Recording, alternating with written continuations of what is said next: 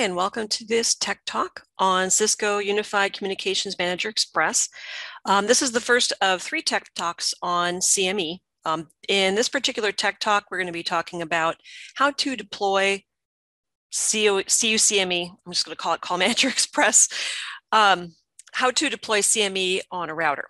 We're going to stand up SIP CME, and we're also going to stand up Skinny CME. Now, you may think to yourself, well, why would I need Skinny CME on my router. Um, you can see in session number two that we're going to be deploying transcode and conference resources. That is done through Skinny CME. Now, you don't have to deploy uh, Skinny phones, but you're going to have to at least know how to do the basics of Skinny CME. So we're going to be talking about that. Um, so the transcode and conference resources is later today, and then the CUCM features are going to be tomorrow. So let's get started. In this particular session, again, this is about deploying CUCME itself, uh, router level prep, in particular SIP. There are some global commands that need to be in place, some SIP specific commands that need to be in place before you start deploying CME. We're going to look at deploying um, SIP CME, and there are more commands that you may think just to get really the basics working properly. Um, most of these, by the way, also apply to SRST deployments if you are thinking about that. Um, and still, I am going to be covering by and large the basics. There are you know, a lot of subtleties that you can really dig into if you want to. Um, we are going to configure Skinny CUCME. Um, and again, you know, deploying the basics. We are going to be deploying some skinny devices, so I'm going to flesh that a little bit more uh, because then we are going to deploy SIP and skinny devices. So here we go. So in order to get SIP CUCME running, there are some commands that you have to have in place to make everything go properly. For starters, um, under voice service VoIP, allow connections SIP to SIP when a skinny phone registers to CUCME, the CUCME process will create a virtual dial peer, uh, a POTS dial peer for the DNs on that phone. When a SIP device registers with SIP CUCME, the DNs on that device are going to register as VoIP dial peers. Now, as we know, default behavior on a Cisco router is that an inbound VoIP dial peer is not allowed to use an outbound VoIP dial peer. So guess what? If you don't have this command in there, your phones will register, but they can't call each other. So very, very important. Then um, under SIP itself, you do need to bind SIP to an interface. Wherever you're going to be binding it, um, you're going to want to have that same IP address be the core IP address for the CUCME, CUCME process itself for SIP.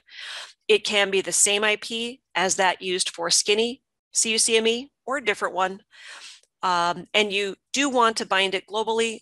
Uh, this does not prevent you from binding SIP to a specific interface. Um, for instance, if you have an IT service provider, you know, providing a SIP trunk for PSTN access, um, you can still on that dial peer, uh, you know, bind SIP on that dial peer to a specific like external interface. Very, very important, registrar server. SIP phones need to talk to a registrar server in order to register. This provides that service on this router. That is required, by the way, again, if you're going to be deploying SRST, you need that command in there as well. Otherwise, the phones will go to uh, the router for um, registration services, and the router will reject it. And then finally, session transport TCP. The SIP phones want to use TCP to do their registration and especially call setup um, uh, processes. You can bind uh, the TCP for session transport to each individual phone in SIP um, but it's just as easy to do it up here, especially in production environments. That's not a bad idea. And again, like with binding um, SIP to a specific interface, if your service provider wants you to have uh, session transport UDP on a PSTN SIP trunk, for instance, this command does not prevent you from binding session transport UDP on that specific dial peer.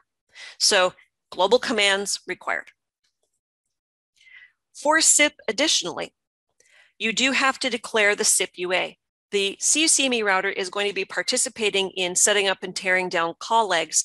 And especially if you are also deploying Cisco Unity Express for voicemail, uh, CUCME is going to be anchoring um, you know, calls between the source and destination of call. So it has to participate. So you have to have this command in order for your phones to function.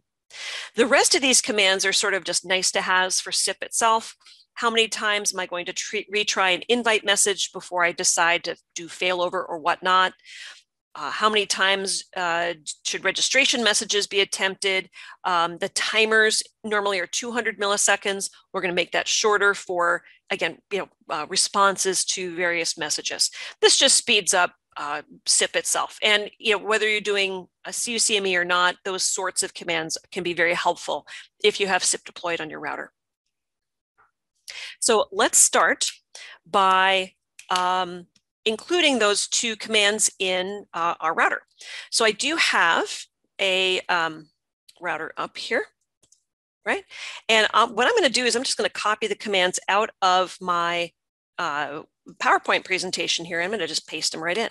So config T, right? There's my registration messages and whatnot. Then I'm going to go down to the SIP UA messages and do those. So there we go. Okay. All right, so that gets the system ready, the router ready for SIP. What do I need to do to deploy SIP CUCME?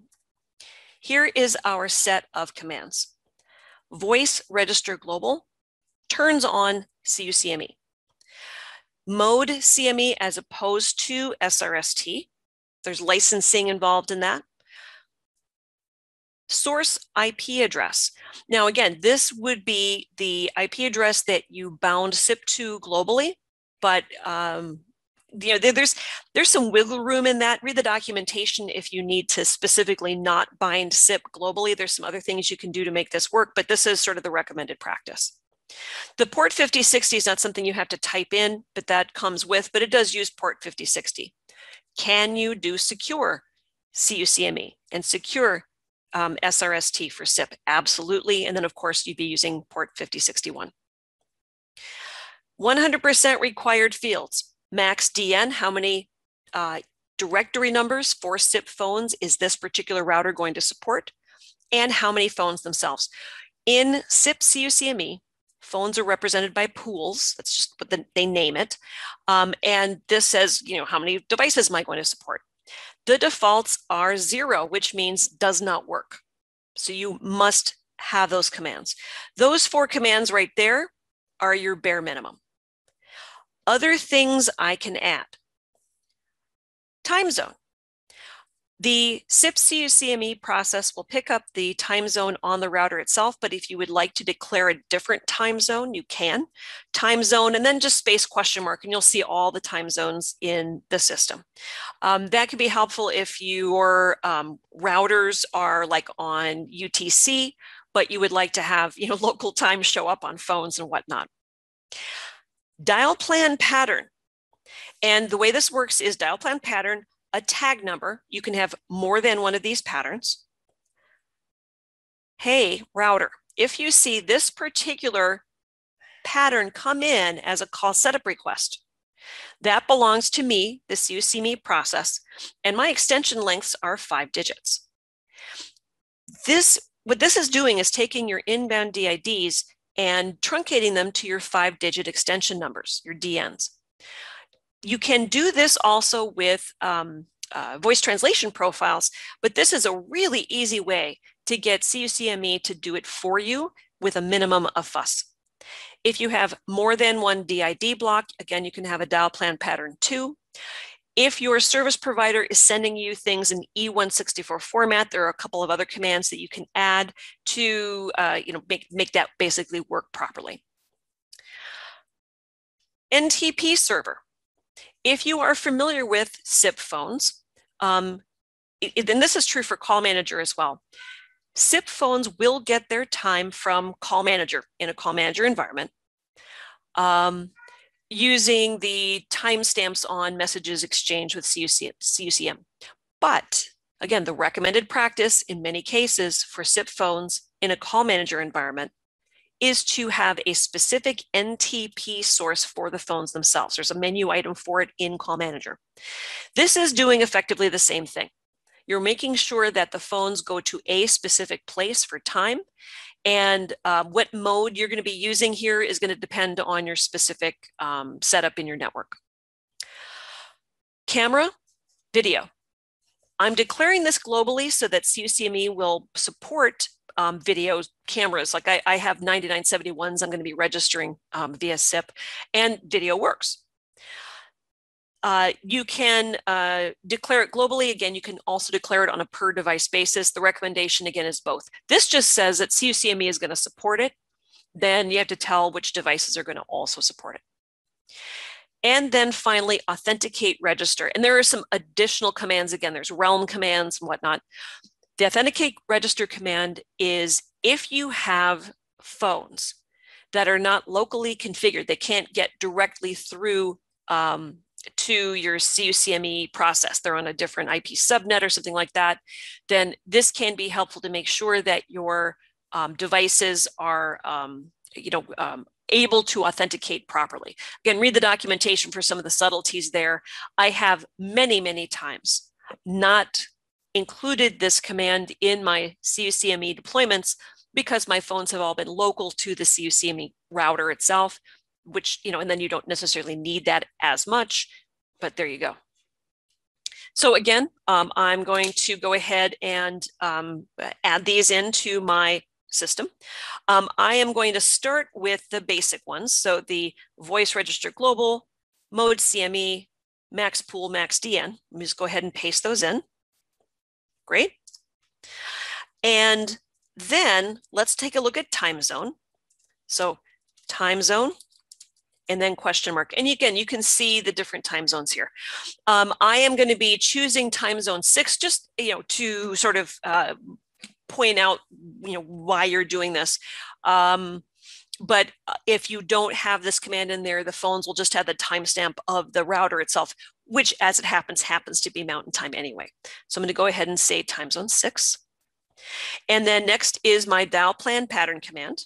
I'm going to go in this far only and extension link five. And I just want to do a question mark here and show you some of the other things that you can add on here. I mentioned about E164 numbers.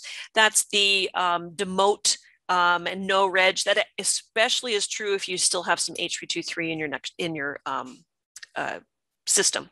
And the extension pattern is my DIDs are 521, 555, and then four additional digits. If I needed to overwrite, like maybe my extensions are five digits, but they start with a seven and then four digits. I need to overwrite that last five, right? In that, that pattern, then you could do that. I could say seven dot, dot, dot. And then instead of my extensions being five digits starting with a five, they'd be five digits starting with a seven. Okay. And then we're going to include the rest of these, not hard ones. Oops, that doesn't have a proper carriage return now, does it? That's why it looks funky in my system. All right, here we go. Let's try that again. There we go, okay. Now, one of the things I can do at this point is do a show command, specifically show um, voice register pool, uh, voice register global, sorry, ah, and that will tell me a little bit more about what I've got going on. You know, what is my uh, port? Where's my NTP server? What time zone do I have? Um, I didn't include these commands today, but you can, which is, do I want 12 or 24 hour time clock? Do I want the date format? You know, standard US stuff is month, day, year, but maybe I'm in, you know, Quebec and I need day, month, year, or maybe I'm in a military base and I want year, month, day. So you get to choose that sort of thing. Notice the uh, MWI commands, I did not include those because I don't have a Cisco Unity Express implementation, but those are some additional things I can do. It is possible to alter the standard QoS settings network locale and user locale. This has to do with what um, call progress tones do I want to hear? That's another thing that you can you can um, see. I also want to show TFTP files are not created and active registrations are currently zero. Now that makes sense because I don't have any phones registered, but what is that TFTP files are not created? When a phone registers to call manager, the phone will download a config file from the TFTP server. Phones are phones. They need to download uh, files from the TFTP server in CU, CME as well. And this means that the files have to be created. Now, I haven't built the phones yet, but when we do finish building the phones, we have to go back into Voice Register Global and issue a command called create profile. That create profile says, okay, uh, reset all of the config files, go. And uh, so we'll see that when we get there. All right, we have Call Manager Express for SIP up and running. Now, what about Skinny? Um, telephony service is that global command. It's the same as you know voice register global, but of course for Skinny. No auto reg ePhone. By default, Skinny phones will attempt to do auto registration. Um, and I don't want it to do that. I, I, I, want to hand code all of my phones. And again, an SRST environment, I wouldn't want to do that, but your choice. Max phone, ePhones, max DNs, IP source address, all of the same sorts of commands I needed for SIP, time zone, and dial plan pattern. Like with SIP, there are a lot of additional commands that I can do, but these are sort of the basics.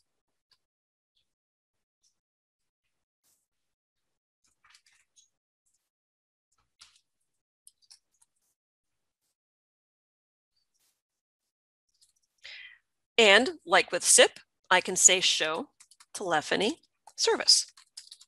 And lo and behold, oops, went too little too far there.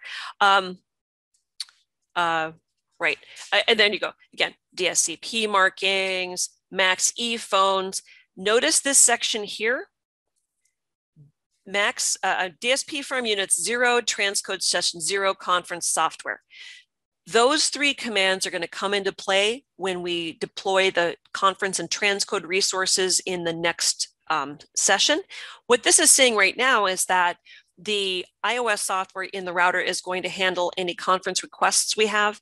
We're going to say when we get to these um, devices, we get, you know, set the stuff up, conference hardware, and we will be um, registering DSPs to Skinny because that's how you know DSPs register these days. I understand Cisco is uh, planning to change the DSP application to SIP at some point, or at least add that as a possibility. Um, but for the moment, this is why you need the Skinny CME, even if you're not running Skinny phones. And you know, like with Skinny or like with SIP, uh, network locale, user locale, date time format, and timers those are uh, among the things that I can do in um, uh, templates as well. So just, you know, taking a look at that. All right, we have Skinny and SIP CME running. Let's add some phones. Voice register DN. Before you build a phone, you have to build a number for it. Um, I don't know if you're aware, but SIP phones will not register if they don't have a directory number on them um, that, that's part of the registration process. The, a SIP phone will register its device and it will also register its numbers. Skinny phones can totally register without a DN on them, but not SIP. So how do we do this? We create a voice register DN. Number 53003, call forward B2B UA busy. What is the number to which a busy condition should be forward? So, you know, if a, a phone ends up in busy condition, we would want it to roll to voicemail. That's that number. I don't have it deployed. I'm just using it as an example. Excuse me. Could also be go to a router, could be a hunt, wherever you want it to send it. Ditto with call forward, B2B UA, no answer. Timeout 15. Without that timeout command, it will still ring forever because there is no no answer condition if I don't have a timer on that. So that's what that's for. Name Andre Madison. Guess what? That's going to give me caller ID. Huntstop channel two. That along with the command on the phone itself uh, those two commands work together to give me busy condition. This is saying that I've got two channels for, um, for inbound calls, additional channels will be, um, uh, you know, given, you know, inbound calls will be busy condition. So busy trigger. Now, voice register DN1, a SIP DN gets up to 50 channels on its IP address, on its DN, on its voice dial peer. Not true with skinny DNs, but is true for SIP DNs. So let's go put these into this command into our um, router. And the MWI, again, I'm just doing for, uh, you know, demonstration purposes. I don't have uh, CU, CUE configured here. So there we go. And I do have two phones I'm registering, so I happen to have a second number. There we go. I now have two numbers, two different people. Alrighty then. What about phones? SIP phones in CUCME are voice register pools. This is pool number one. How do I want to identify this what belongs to this pool? In the case of physical phones, generally speaking, our ID is going to be a MAC address, but IDs can be IP addresses, they can be other things. And um, in the case of something like SRST, the ID can be not just an IP address, but a range of IP addresses like a subnet. So all devices with that subnet can register to this pool, that kind of thing. Here's my session transport TCP. Again, I'm doing it globally, so I don't have to have it here. That's just for you know demonstration purposes. Type, number, and the ID MAC. Those are the really the three key things here. You know, which phone is this pool? What type of phone is this pool? At what number should I put on it? The rest of this is optional but recommended. The session transport TCP, if you don't have it declared globally. Busy trigger per button two, again, gives me my busy trigger condition. DTMF relay, RTP NTE is the de facto standard these days for SIP, um, but you can have it also fail over to SIP KPML. If you have a CUE uh, implementation, um, there are some specific, um, uh, what's what I'm looking for, uh, requirements for, for DTMF for the CUE process itself. So look into that. Username and password required for a, a SIP phone. Now, username could be admin, password, admin, doesn't matter. It does have to be different on the different phones. What this is doing is two things. Number one, if you are going to be providing the end user GUI for people on CUCME so they can like set up their own speed dials or whatnot. They would, this is, you know, how you set their username and password. Also, the physical phones themselves, if you want to get into the administrative uh, menuing on the physical phone, you have to put a username and password. Guess what that is? That's what that is. You can declare a, a sort of a generic one in um, um, Voice Register Global. But if you have individual users, this is not a bad thing to do. Description. This is going to give me my um, external phone number mask. If you think about, you know, a phone on call manager, you got your buttons, right? And then up here somewhere, it's going to have that 10 digit number that's populated by the external phone number mask in CM. This is how it's populated in CUCME.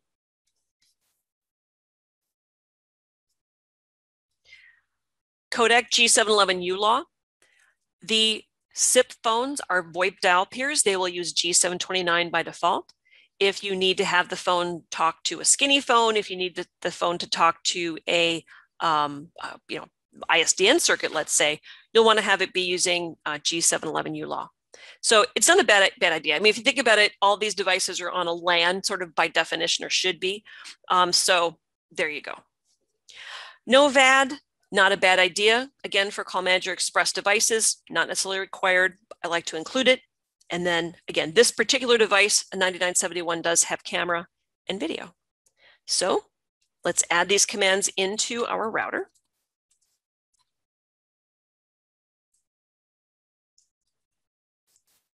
And as before, I also have a phone for my other user. So let me grab that stuff too. There we go. We now have DNs and phones in SIP CME. Let's take a look at Skinny. Like with SIP, I want to create my DNs first. Very, very similar configuration. Instead of voice registered DN, it's ePhone DN. Number one, that's a tag number, and octo line.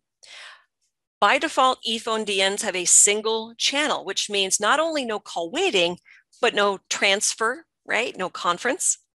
So I can say um, dual line or octo line. Octo line, you know, as the name implies, means I can have eight channels here. So I can have um, eight calls going. You know, there's nothing in between two and eight. Um, so eight's not a bad idea. What is the number? What is the description? Again, there's my external phone number mask. Um, that is done on the phone. In the case of uh, SIP CME, it's done on the DN in uh, Skinny CME caller ID, no answer conditions, and there's my hunt stop channel.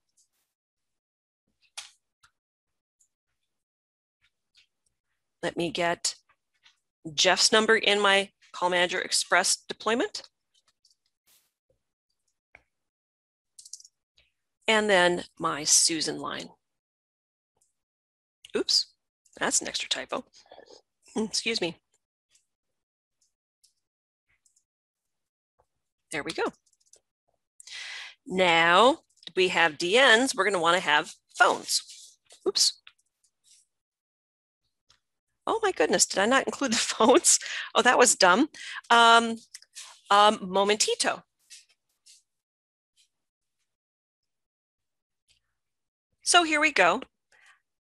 ePhone is how we build a skinny CME device. Notice I don't have a lot of commands in here. It is not nearly as complicated as the SIP phones. Um, there's not as much going on either. Um, we will be fleshing these out more, both the Skinny and the SIP CME uh, devices with speed dials and addition, additional button mappings and such. So um, let me go ahead and get uh, these into my router. And, you know, MAC address, uh, there are, again, other ways you can do IDs on ePhones, but it's much more limited it's Skinny is a lot less flexible with regards to CME than SIP is. So here we go. There we go. Oops, don't want that in there. Okay. This is additional button mappings. We'll get to that when we get to the features in particular. Alrighty then. So now, before I try to get the phones to register, I'm going to need to create their config files.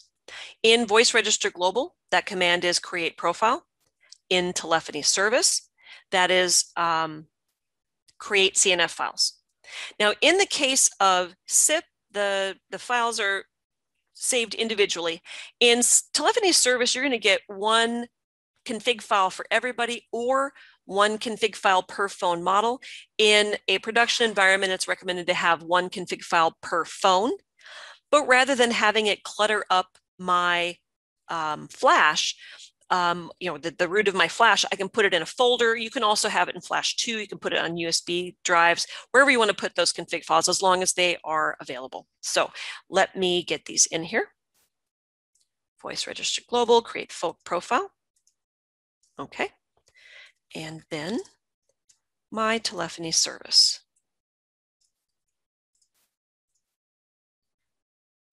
Oops. I may not have to show flash.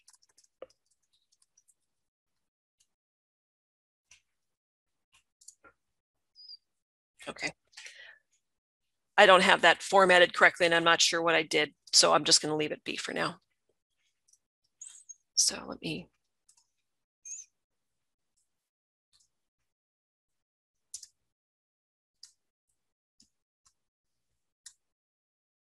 try that again. There we go. Okay. Yeah. I'll have to go figure that. I'm not sure what I did there. Alrighty, because the folder is definitely is there. Okay, now what we need to do next is reset our phones. I'm gonna go do this by hand. Let me, I'm gonna go um, pause my, um, my recording and I'm gonna go reset the phones. In the meantime, if I would like, we, we saw the uh, voice register global and show telephony service. Um, show voice register pool allows me to see specifics about a single phone. Same thing, show ePhone register That gives me um, a list of all of my devices and basically all of their configs. Debug ePhone uh, register, debug voice register events. If for some reason you think your devices are not getting their config files from the TFTP server, debug T TFTP events is also sort of the go-to. So let's start with debug ePhone register.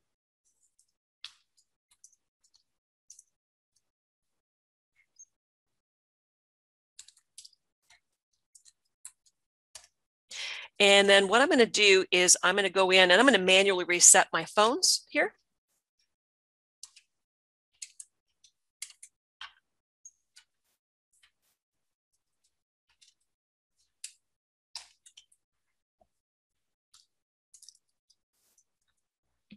And we'll watch them come back in. I don't know if that's set.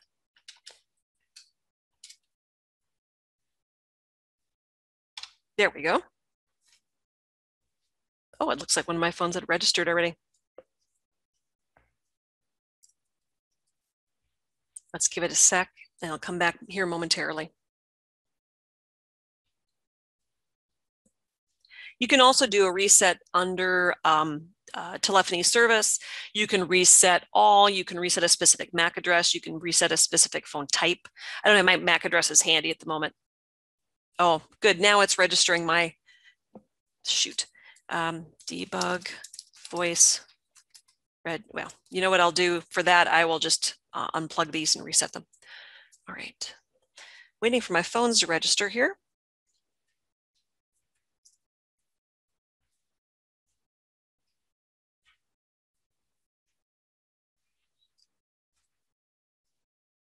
I'm checking the um,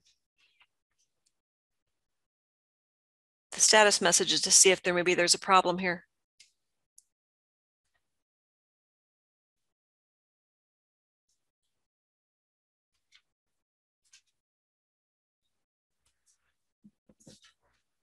It says it has a TFTP error, which I'm not quite sure why.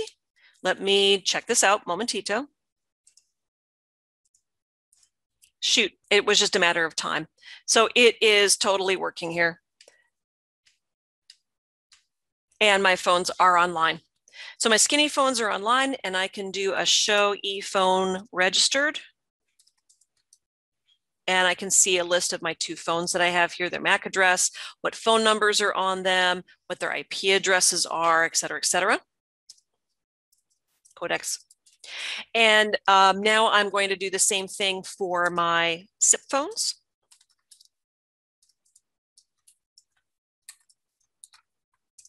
And I'm going to go in and reset them. Settings menu, administrator settings.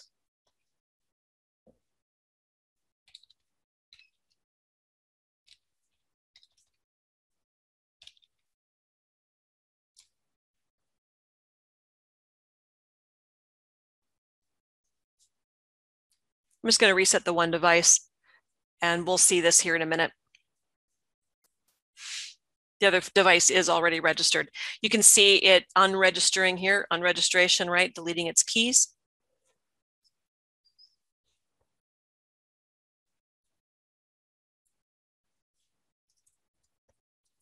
When we are done with the registration process, the last thing I want to show you before we end this particular session is I want to show you the um, dial peers, right? I said that there were virtual dial peers for the skinny phones and virtual dial peers for the SIP phones.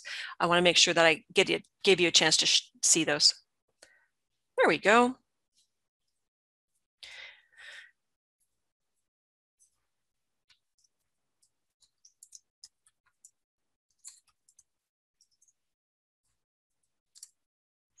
Here's voice register pool one, MAC address. Um, DNs that are on it, what kind of phone it's running, what firmware version it's running, DTMF signaling, video and camera is enabled. I could make a video call, wish I could show you that. Um, KPML signaling, et cetera, et cetera. Dial peers created. I can see right here, it's showing me the dial peer created for this particular phone.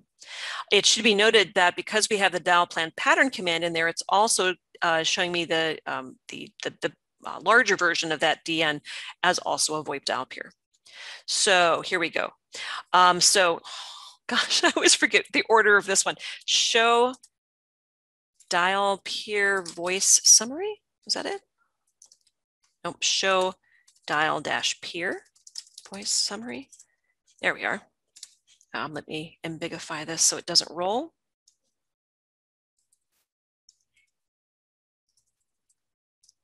We go. Okay, so I've got a couple of dial peers in here just for um, you know PSTN dialing, right? And then um, here are the skinny dial peers. Again, I've got a dial peer for the uh, DN on the phone itself, and then because of the um, the the dial plan pattern command, it is not about the description where it gives it that uh, external phone number mask. It's the dial plan pattern command that also has it map the um, DID number to the port. And notice this is a POTS port for the skinny phones.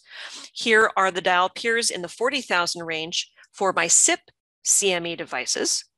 And again, with the dial plan pattern command, I see not just the DN, but also the, um, the uh, uh, DID number.